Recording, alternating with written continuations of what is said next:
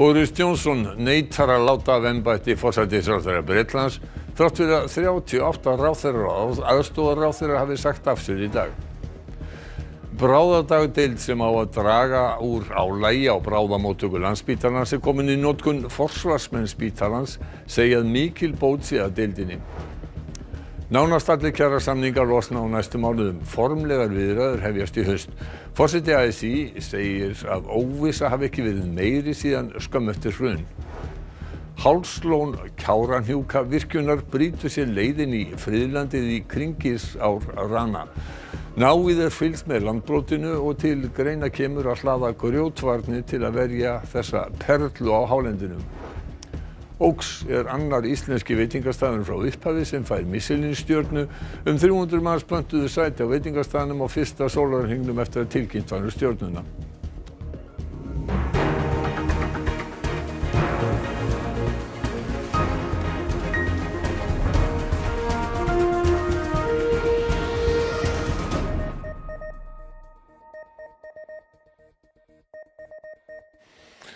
Gott kvöld. Mikill þrýstingur er á Boris Johnson, forsættisráþurra Breitlands að segja af sér. Fjármálaráþurran og helbriðisráþurran tilkynntu Johnson að þeir stæði ekki lengur með honum og sögðu af sér í gær. Í dag hafa 38 ráþurrar og aðstofaráþurrar tilkynnt afsökk sína. Hart var sótt að Johnson í fyrirspurnatíma forsættisráþurra í Breska þinginu í morgun. Svo ákvörðun Johnson að skipa Chris Pincher í embætti aðstóðar þingflokksformans íhaldflokksins fór ítlaði marga samflokksmenn hans. Pincher hefur margótt verið sakaður um ósæmilega hefðun og sætir ákeru vegna kynferðisleirar áreitni. Johnson kannæðist lengi vel ekki við þessar ásakanir.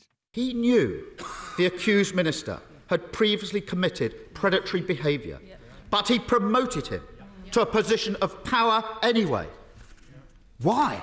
Uh, that individual, the uh, member for Tamworth, no longer has the Conservative whip. He no longer has a, a job. He, he, is no longer, as soon as I was aw made aware of the, the, allegation that he has just read out, uh, Mr. Speaker, and the complaint that was made, uh, he, lost, uh, his, um, he lost his status as a Conservative MP. When I was prosecuting rapists, I heard that from victims all the time. Mm. Victims said they froze because it's not about sex, it's about power. Yeah.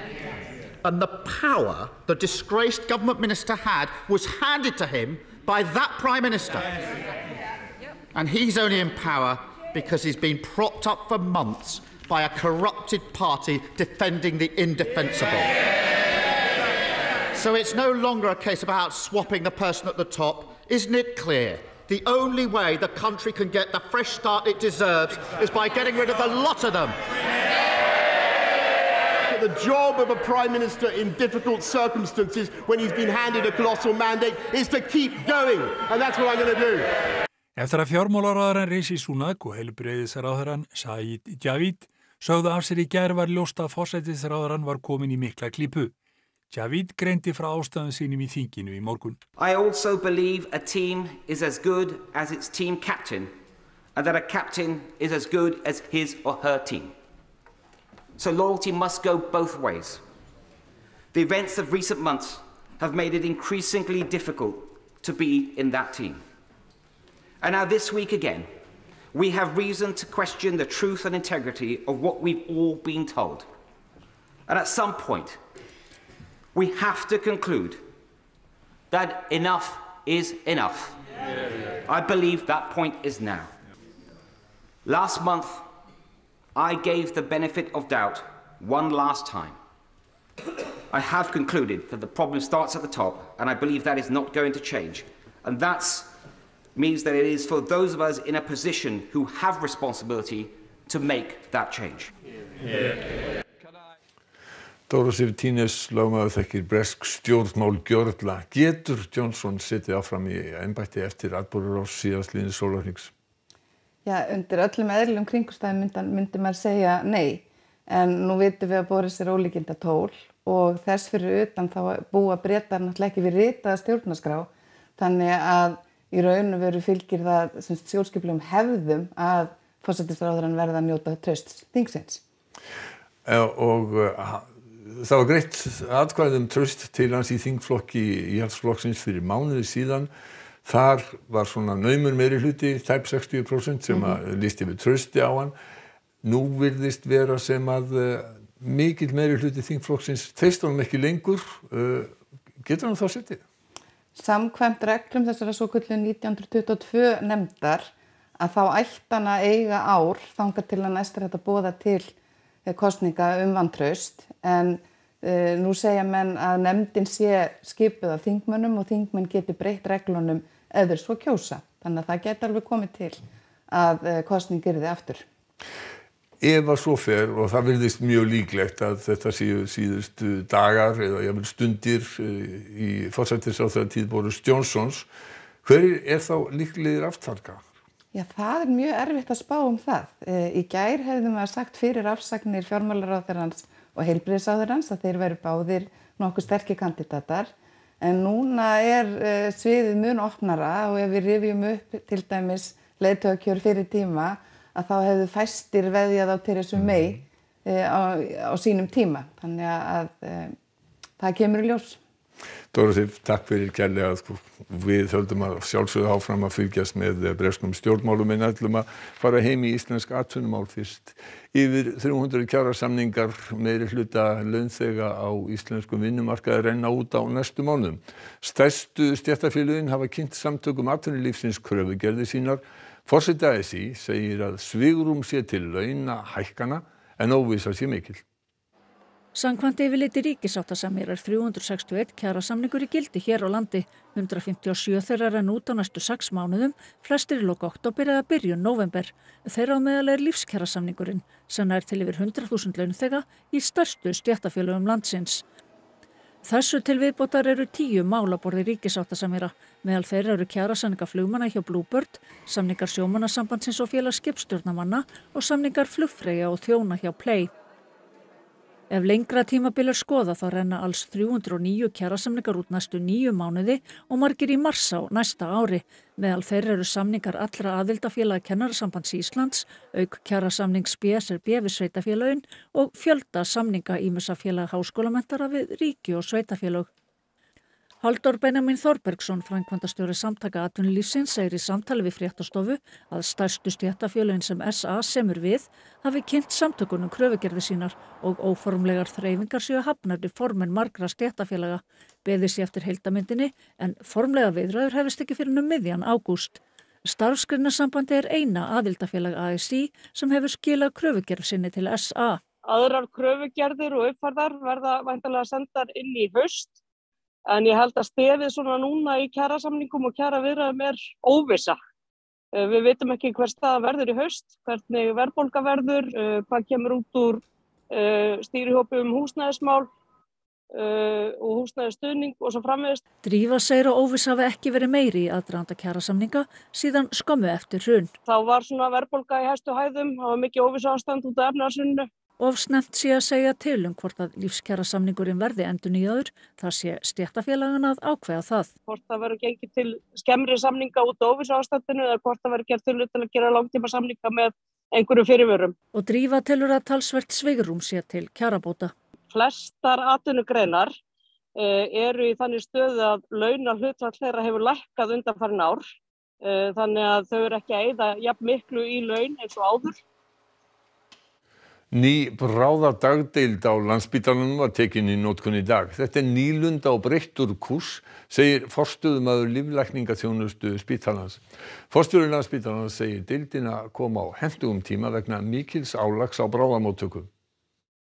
Þessi nokkru stólar að baki mér hér á bráðadagdeild líflækninga láta kannski ekki mikið yfir sér en fagfólki hér á spítalanum segir að aðstæðan geti skipt sköpum og ekki hvað síst nýtt vinnulag sem tekið hefur verið í nótkunn. Seks meðferðarstólar er á deildinni og stendur til að fjölga þeim. Sjúklingar sem þurfa sérfræðimat eða meðferð sem ekki er hægt að veita utan landsbítalans en þarnast þó ekki meðferðar á bráðamáttöku geta fengið hjálp á bráðadagdeildinni. Fjarþjónusta sem þáttur í starfsemi bráðadagdeildarinnar hóstum miðjan júni. Læknavaktinn, heilsugjæslustöðvar, öldrunastofnanir og sjúkraflutningamenn geta þær fengið aðstóð til að koma sjúklingum í réttan farveg. Ef að matið er þannig að, að viðfórsefni má býða til næsta dags eða, eða kannski þar næsta dags að þá getum við á skiplaðan átt unnið upp viðfórsefni viðkomandi og það dregur úr örtröð á bráðmótökunni og, og, og stýttir líka byggtíma fólks eftir þjónustu. Már segir að fólk þurfi ekki alltaf að leggjast inn á sjúkrahús til að því sé synd. Áform sé um að auka þessa þjónustu enn frekar. Og síðan alltaf fengum við risastóran lærdom í COVID-inu þar sem að fólk var náttúrulega mjög veikt margir en við áttum okkur á því að það var vel að sinna því somarsamlega eh, með, með fjárþjónustu og svona að skoða það kannski að degi til. Það má segja að, að þessi eining núna kom á góðum tíma því við erum með miklu vandræðum vegna álæsins á bráðamáttökunni. Þannig að það er svo sem ítt við þessu en þetta er búið að vera í undirbúningi hjá okkur. Þannig erum við að horfa fram veginn með þetta, fara af stað með þetta hér eins og uh, hægt er í dag uh, með við aðbúnað á mannun. Mín trú er að þetta muni ganga mjög vel og, og vera mjög mikilvæg viðbót sérstaklega til að taka álægið af bráðamótökunni og, og, og svo tökum við stærri skrefi í útvarsla á þessu. Það er mín staðfasta trú. Þúsundir söfnuðust saman fyrir utan verslunarmiðstöðuna Fields í Kaupanöfning gerðkvöld til að sína samstöðu og minnast þeirra sem létu lífið í skottárás og sunnudag. 22 ára Dani skaut þrjá til bana og fjórir voru fluttir á sjúkurhás en er ekki lengur í lífsættu. Friðrik Kronprins, borgarstjórun í Kaupmannöfn og Mette Fredriksson, forsættisráþurra, voru meðal þeirra sem myndust inn á látnum.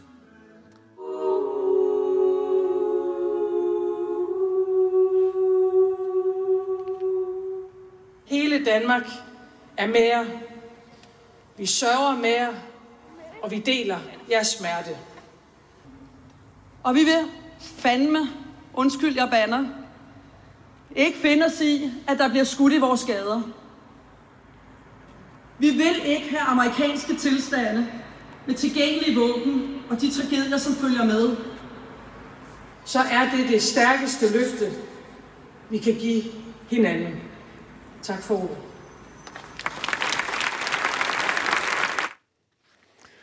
Hálslón Kárahnjúkavirkjunar brýtur á hverju ári um 2-3 metra af friðlandinu í Kringilsárrana sem er gróðurvinn á hálendinu og griðland hreindýra. Landbrotið er vaktað og landsvirkjun er reyðbúin að verja friðlandið með grjóti ef þarf er á. Bygging Kárahnjúkavirkjunar er ein umdeildasta framkvæmt Íslandsögunar, enda umhverfis áhrifin mikil. Hálslón þekur 57 ferkilometra lands þegar það er fullt. Við erum stödd hér á bökkum Hálslóns og ætlum að sigla yfir lónið á stað sem að kallaður er Kringils á Rani. Þetta er friðiland og lónið er að brjóta sér leiðin í friðilandið en landsvirkjun og landgræslan eru í ýmsum aðgerðum til að vernda friðilandið fyrir frekari ágangi lónsins. Björgunarsveitin Ísólfur á Seðisfyrði ferjar fólk í Ranan þriðja sömarið í röð og við siglum að hinnum sokna töfrafossi sem skýtur upp kollinum þegar lítið er í lóninu. Þegar við komum í ranan blasir landbrotið við og sumstaðar hafa stór stykki fallið niður í lónstæðið. Og við á landsverkjum hefum búið okkur undir það til þess gæti komið að hér þurft að gera varnir og gerðum hérna svona tilrænavörn 200 metra kapla 2019 sem hefur nú bara staðið sér mjög vel. Hérna norðuróta kringilsarana er mitt í gróti fjörinni og þar er metið sem mikið landbrót á 2 km kapla og það myndum við geta varið hérna ef þarf væri á með grjóti hér úr, úr hálslóni. Landgræðslan hefur líka verið að verja svæðið fyrir sand og leirfóki með sérstökum gerðingum. Áfók og uppfók hefur verið minna en með reiknuðu með. Þannig að þess vegna hefur fókusin meira verið á undanfærin ára á landbrótið. Fram kemur í skýrslu um landbrótið að mikið eða töluvert landbrott sé á hátt í 70% af þeim kabla sem skoðaður er á hverju ári. Um hverfistofnun metur hvort landbrottið ógnar verndargildi friðlandsins og segir til um hvort og hvenar ráðast sköli í bakkavarnir. Víða stýttist hins vegar í að landið sjálft fari að verja svæðið enda kemur hækkandi klöpp undan jarðveginum sem skólast burt. Já, hér sjáum við að klöppin á þessum staði er farin að gera gagn. Við sjáum að hún er í rauninu undir öllum landinu hérna og hefur landhallan. Ef að rofið heldur aðeins lengra áfram, gæti verið 10-20 metrar, þá í rauninu mun klöppin byrja að verja bakkan sem er, í rauninni kannski snirtilegasta lausnin hérna. Á Kringils á Rana er mikið dýra og plöntulíf. Þar eru líka svokallaðir töðu raukar sem hlóðust upp í framhlaupi jökla. Til mikils er að vinna að ranin haldi sér. 1939 þegar maður heldur nú að hreindir væru nánast horfin af Íslandi það fannst hér 100 dýra hjörð og menn hafa alltaf litið á kringilsáranan sem svona ákveði griðland hreindýra. Eldur kviknaði strandveiðibáti skamt utan við Ríf á Snæfellsnesi á tíundatímanum í morgun. Einn maður var í bátnum. Honum tókst að koma sér frá borði og í björgunarbát. Að sögn aðgerðarstjóra landhelgiskeslunar gengu slökkustörf hægt. Báturinn var dregin til hafnar í Rífi í dag og lagði töluverðan reik frá honum. Ekki er vitað morsakir brunans. Manninum gafst ekki tóm til að senda neyðarkall áður en hann þurfti að forða sér frá borði.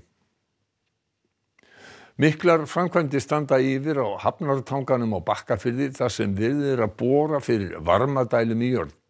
Dælunum fylgir töluverður orkusbarnaður sem mun hafa áhrif á bæði heimili og fyrirtæki á svæðinu. Hér á Bakkafyrði erum við stött á skilgrendu köldu svæði þar sem hús eru kynnt með raforku. Nú er hins vegar tilraunaverkefni að fara að stað það sem nota á varma dælur til að spara 60-80% orku. Svo kallaða varmahóluverkefni er samstarf langanisbyggðar, orkusjóðs og samtaka sveitarfélaga og atvinnutrónar á Norðurlandi eistra. Nýverið hlaut verkefni 10 miljónar krónar styrk. En þau gang út á það að það er verið að bóra tilturlega grunnar hólur til varmanýtingar fyrir varmadælur. Og þetta er sem sé tækni sem er mjög vel þekkt í nágrannlöndum okkar, Norðurlöndunum, mikið nótuð. Hefur nú alveg fengið svolítið eldskýrt hérvandi líka senustu ár eða ára tíi en, en hefur ekki náð útbreyslu hinga til. Helsta ástæða þess segir hann að sé mikill borkostnaður. Nú hafa verið fluttir inn minni borar og þar með hefur kostnaður lækkað. Í fyrsta fasa tilraunaverkefnisins er útveguð hitun fyrir hafnartangan á bakkafyrði og svæði þær í kring þar sem öll helsta þjónusta bakkafjörðar er staðsett.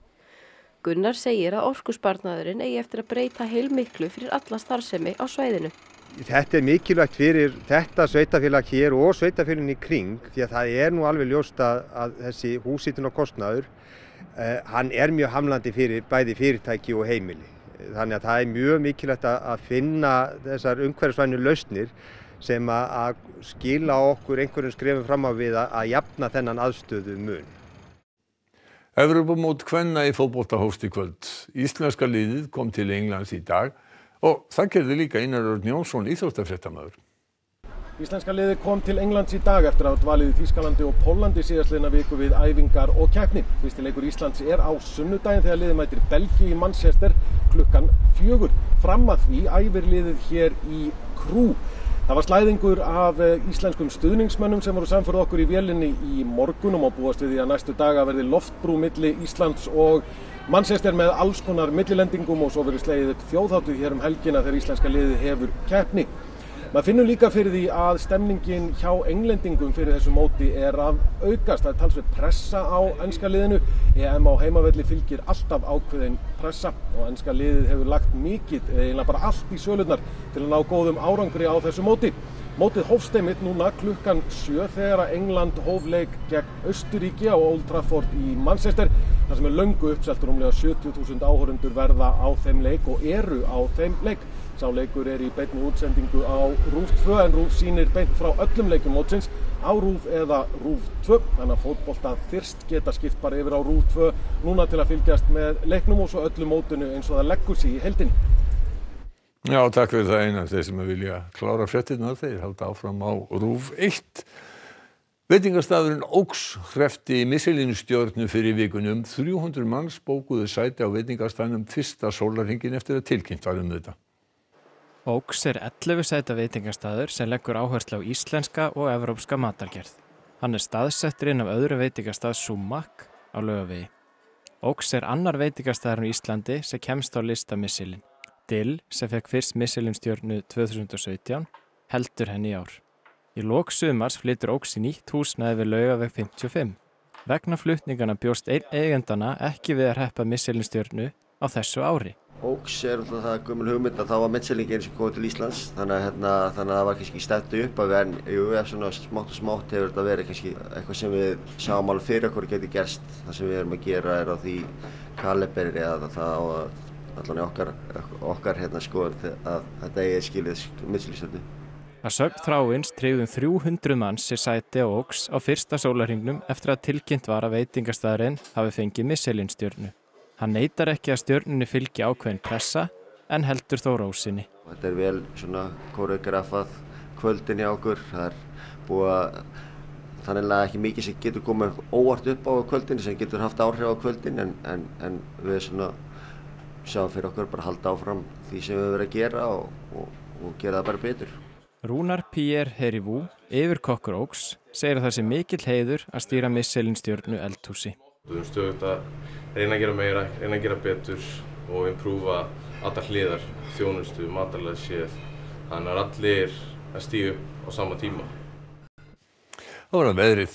Kröpplægð gengur yfir landið á morgun með meðfylgjandi hvassviðri og regni víða um land. Viðurstofan hefur gefið út gula hvassviðris viðvörun fyrir Suðausturland þar sem búast má við sterkum vindhviðum sem geta reynst varasamar fyrir létta tengivagna og aukutæki sem taka mikinn vind á sig.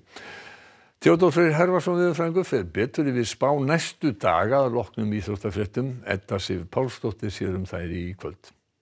Boltinn er farin að rúlla á Evrópumóti kvenna í fótbolta. Fyrsti leikur mótsins England-Austuríki var flautaður á klukkan 7 og er síndur beitt á rúf 2.